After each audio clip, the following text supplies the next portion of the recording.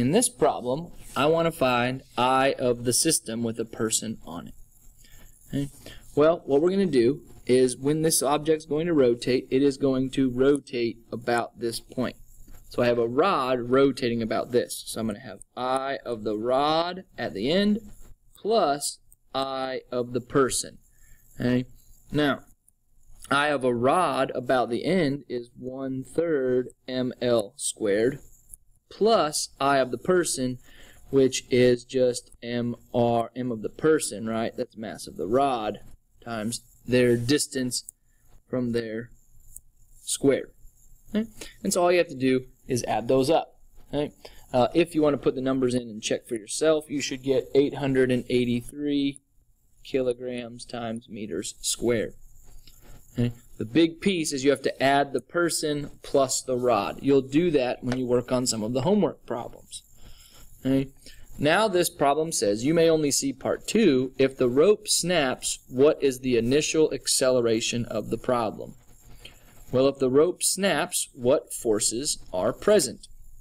Okay, well, let's go back and look at this as a free body diagram. Okay, we'll ignore the rope. So, the first force, I have gravity on the person, gravity on the rod, Um, tension would not have to, if tension's not there, I don't have to have the hinge force. Uh, and also it's going to rotate. That's my axis of rotation. There are forces present there, but I don't need to put them because we're going to look at um, which forces cause a torque. The only two forces that cause a torque are my two gravitational forces there. So let's take a look and do our net force statement. So torque net equals I alpha. So this is mass, uh, oops, mass of the person times g times the person's lever arm plus mass of the rod times g times the rod's lever arm equals I of the system, which we just solved, times alpha. Now, we should be able to solve the lever arm. Um, it tells me that the person is only one meter from the wall, so their lever arm is one. Okay. Let me plug the numbers in here so you, for you to see. Here's my numbers. Okay. Force of gravity of the person is mg, so 500. They're one meter from the wall. Uh, force of gravity of the rod, well, that's a thousand. And then the force of the gravity of the rod acts at the center of the rod, so 2.5. I we just found, so I can find alpha. Now, this isn't very exciting. But the interesting part, let's find A. Now remember, alpha times R equals A. Okay? So 3.4 times R. Now this is A at the tip, or we could find A at the person. Let's see what we get. So at the tip, the R is 5. So the linear acceleration at the tip equals 17 meters per second squared. So if someone was trying to stand at the tip, this is going to accelerate faster because linearly we can only accelerate at 10. So the rod would drop away from the person if they were at the tip. But this person's not. This person is 1 meter. So for the person it would be alpha, which is 3.4, times 1 equals A. So A is also 3.4 meters per second squared. People fall at um, 10 meters per second squared linearly.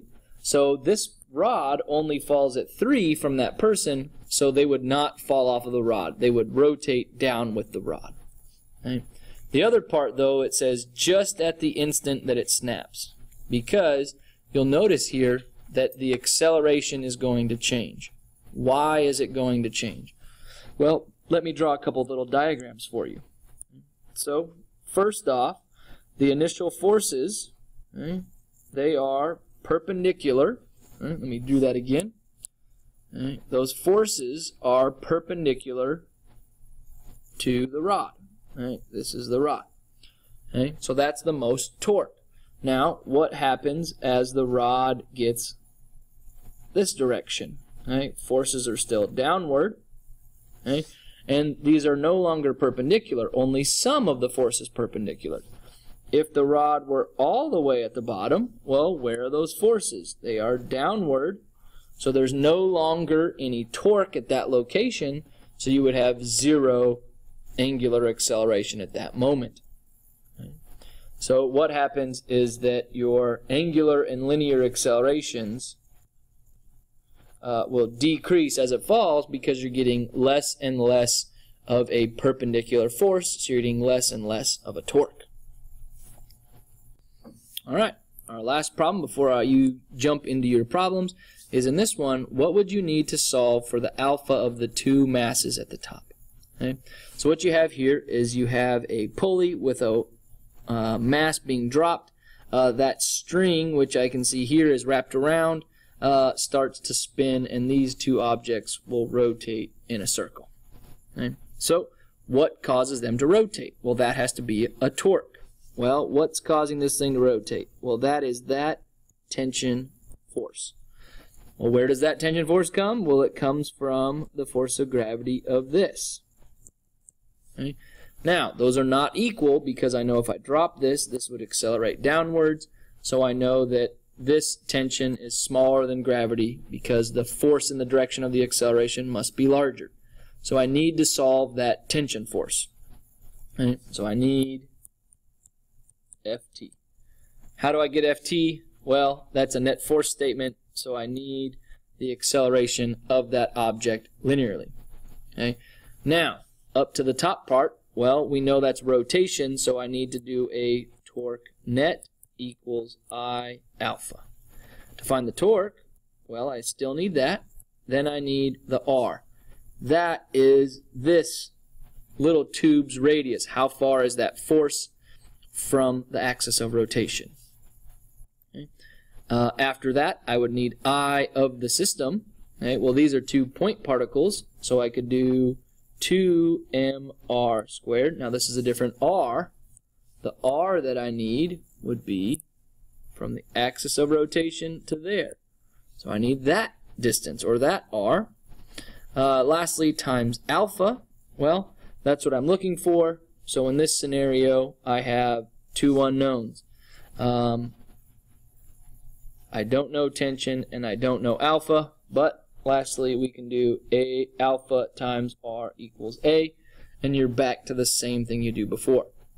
What I want you guys to do when you bring this in, I want you to have FNet statement on this one. Okay. Uh, match it up to the torque net statement on the top, which I already gave you, and see what you can come up with um, for an uh, equation for A. What does A equal? Good luck on those. Good luck on the homework. Coming in earlier would always be better. Good luck.